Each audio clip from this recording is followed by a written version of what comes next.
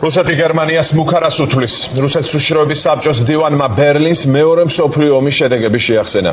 დაპირისპირების მიზეზი გერმანელი სამხედრო მაღალჩინოსნების დათბირის ჩანაწერია. პარალელურად უკრაინაში მსხვერპლი გაიზარდა. ოდესაში საცხოვრებელი სახლის ნანგრევებში კიდევ ორი ბავშვის ცხედარი იპოვეს. ყვავილები იმ სახლთან ოდესაში, სადაც რუსულმა საოკუპაციო ძალამ 12 ადამიანი მსხვერპლა ამ დრომდე მიაქვთ ნანგრევების სათამაშოებითაა დაფარული. რუსული სარაკეტო იერიშის ბოლო მსხვერპლი 4 წლის ბავშვი აქ 24 საათიანი ძებნის შემდეგ იპოვეს. სულ რუსული დაბომბვის შედეგად ნანგრევებში დაღუპული 12 ადამიანიდან 5 ბავშვია.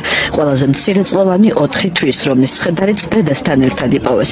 უკრაინაში ამბობენ, რომ სამოქალაქო ობიექტებზე თავდასხმების შესაჩერებლად აუცილებელია საერთაშორისო საზოგადოების დახმარება. ევროპაში ვერც ერთი სახელმწიფო ვერ გაუძლებს მარტო ასეთ ზეწოლას, ასეთ ბოროტებას. ამიტომ მნიშვნელოვანია, რომ ჩვენ ყველანი ახლა ერთად ვიყოთ. ეს ომი უიმედო უნდა გახდეს რუსეთისთვის. მათ მაქსიმალურად უნდა იგრძნონ, რომ არსებობს ძალა, რომელიც ანადგურებს მათ, ვისაც თავად სურს სიცოცხლის განადგურება. ჩვენ შეგვიძლია ამის უზრუნველყოფა. თითოეულმა პარტნიორმა იცის რა არის ამისთვის საჭირო. თავარია პოლიტიკური ნება ამ ყველაფრის განსახორციელებლად. საპასუხო დარტყმა უკრაინის დაზვერვამ სამარის ხიდს მიაყენა, რომელზეც ერთ-ერთი ცენტრალური სარკინიგზო მაგისტრალი გადის. მოგვიანებით რუსეთის თავდაცვის სამინისტრომ ხიდთან ასაფეთქებელი ნივთიერების პოვნის შესახებ გაავრცელა ცნობები. კვლავ გამოჩნდნენ დრონები რუსეთის რამდენიმე რეგიონის თავზე. უკრაინის პრემიერმა კითხვა, რომ ქვეყნის ბიზნესი და ბაზარი მზადაა დამატებით მილიონი დრონი აწარმოოს. ბიუჯეტი და ამისთვის უკვე გამოიყო მილიონი გრივნა. ამ ფონზე უკრაინასთან მოლაპარაკების უალტერნატივობაზე საუბრობს დიმიტრი მედვედევი. მან რუსეთის გეოგრაფიული და სტრატეგიული საზღვრების შესახებ ლექცია გაყალბებული რუკის ფონზე წაიკითხა, სადაც უკრაინის დიდი ნაწილი რუსეთის დასავლეთ რეგიონები კი პოლონეთისა და რუმინეთის ტერიტორიაზე იყო მოქცეული.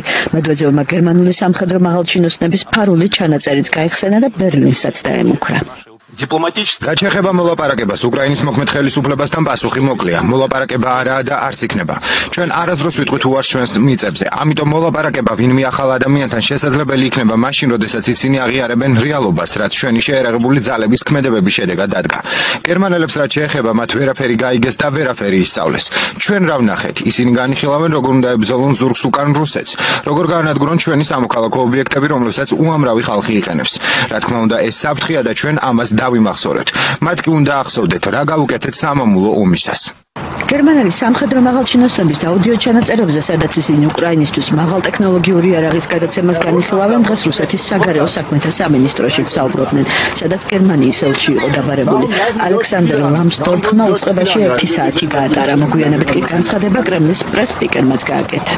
გარკვეულ დემაში მიმართავთ გამოვიძახეთ გერმანიის ელჩი. თავად ჩანაწერი ამბობს, რომ ბუნდესვერი კონკრეტულად განიხილავს რუსეთის ტერიტორიაზე იერიშების მიტანას. ამას არ სჭირდება იურიდიული განმარტება, ყველაფერი აშკარაა. ბატონმა შოლცმა თქვა, რომ იქნება სწრაფი და ეფექტური შემოწმება. უნდა გავიგოთ, ბუნდესვერი ამას საკუთარი ინიციატივით თუ აკეთებს. მაშინ გასაკვირია, რამდენად მართავს ბუნდესვერს და მართავს თუ არა ვითარებას ბატონი შოლცი. იქნება სახელმწიფო პოლიტიკის ნაწილია. ორივე ვერსია აჩვენებს, რომ კოლექტიური დასავლეთი ჩართულია უკრაინის კონფლიქტში. საინფორმაციო ომის წარმოებაში ადანაშაულებს რუსეთს გერმანიის თავდაცვის მინისტრი ბორის პისტორიუსის თქმით კრემლის მიზანი ქვეყნის შიგნით განხეთქილების შექმნაა ინციდენტი აშკარად უფრო მეტია, ვიდრე უბრალოდ საჰაერო ძალების საუბრის მოსმენა და გამოქვეყნება. ეს არის საინფორმაციო ომის ნაწილი, რომელსაც პუტინი აწარმოებს. ამაში ეჭვი არ გვეპარება. ეს არის ჰიბრიდული თავდასხმა, რომელიც მიმართულია დეზინფორმაციის გავრცელებისკენ. ამის მიზანი ჩვენი დაყოფაა, ჩვენი ერთიანობისთვის ძირის გამოთხრა და ამას განსაკუთრებული წინდახედულებით, მაგრამ არანაკლებ კიცედ უნდა უპასუხოთ. მაღალი რანგის გერმანელი ოფიცრების შეხვედრის ჩანაწერი მარგარიტა სიმონიანმა გამოაქვეყნა.